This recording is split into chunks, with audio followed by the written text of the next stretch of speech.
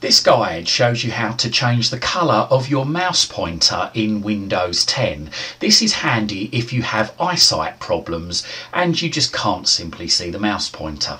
Or if you're fed up with the colour of the mouse and want to change it.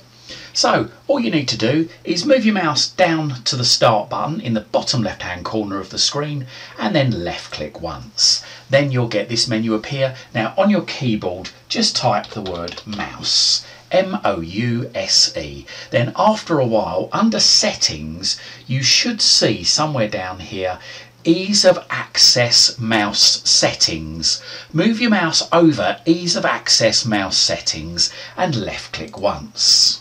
Then you should get this screen appear. Move your mouse over mouse pointer and left click once. So not only can we change the colour of the mouse pointer, but we can also change the pointer size here. So we just literally just move that slider along and as you can see, my mouse pointer gets bigger. Move it to the left and it gets smaller. So if we want to change the pointer colour, then we can change it to black by clicking on this here and there you go my pointer becomes black. Or if you want to do a black and white pointer so that when you're over black areas the pointer goes white and when you're over white areas the pointer goes black then choose this option here. Or if you prefer to choose your own colour then click on this custom one at the end here and as you can see you have a selection of colours here.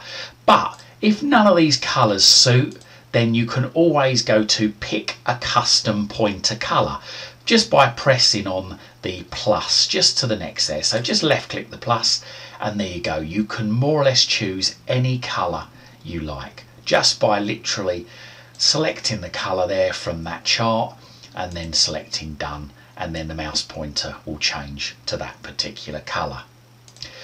So there you go. That guide showed you how to change your mouse pointer to a custom colour.